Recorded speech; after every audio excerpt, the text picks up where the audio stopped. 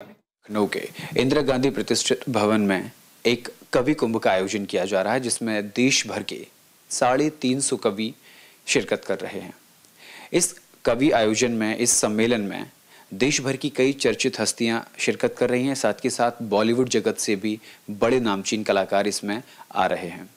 इसी क्रम में हमारे साथ गदर टू फेम और चंद्रगुप्त मौर्य के चाणक्य हमारे साथ मौजूद हैं मनीष वाधवा सर उनसे आज बातचीत करेंगे। सर न्यूज़ इंडिया पर आपका बहुत बहुत स्वागत है। बहुत बहुत धन्यवाद जी। सर कवि कुंभ का आयोजन किया जा रहा है। अ, संस्कृति मंत्रालय उत्तर प्रदेश और हिंदी साहित्य अकादमी इन दोनों के संयुक्त तत्वाधान से ये कार्यक्रम आयोजित किया जा रहा है। आप क्या कहना चाहते हैं? सबसे पहले धन्यवाद कहूँगा कि मुझे उन्होंने इस लायक समझा मुझे यहाँ बुलाया और मुझे भी इसमें शामिल होने का एक अवसर प्रदान किया।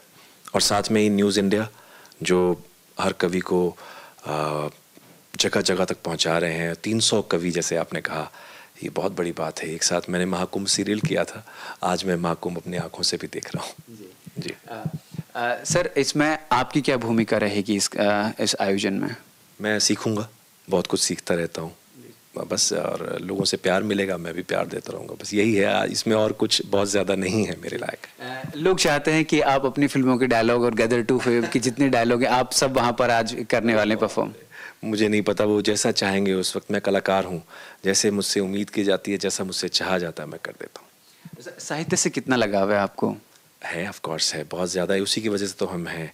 कहते हैं वो एक पढ़ाई जो है आपको आगे तक ले जाती है।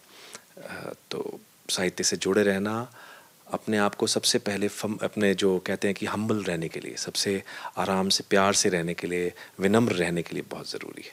क्योंकि आप जितना पढ़ लेते हैं कई बार उल्टा भी होता है आप बहुत ज़्यादा उसमें आ जाते हैं कि मैं तो चारों वेदों का ज्ञाता हूँ मैं तो रावण हो गया हूँ तो वो भी नहीं है ठीक।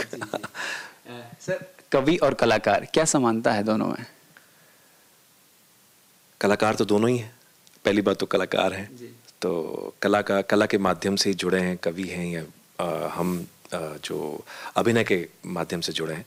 तो सबसे बड़ी बात यह है और सब अपना अपना कुछ जो अपने अंदर की फीलिंग्स हैं, अपने भाव हैं, वो आगे रखना चाहते हैं, अपने अंदर की चीज़ें हैं।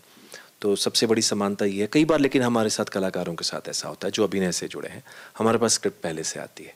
हम एक किरदार को आपके सामने लाते हैं। ये अपनी फीलिंग्स जो उनके अंदर है या उन, जो समाज में देख रहे हैं, जो देश में देख रहे हैं, विदेश में देख रहे हैं, जहाँ उनके अंदर जिस तरह की फीलिंग्स आ रही हैं, वो सामने रखते हैं।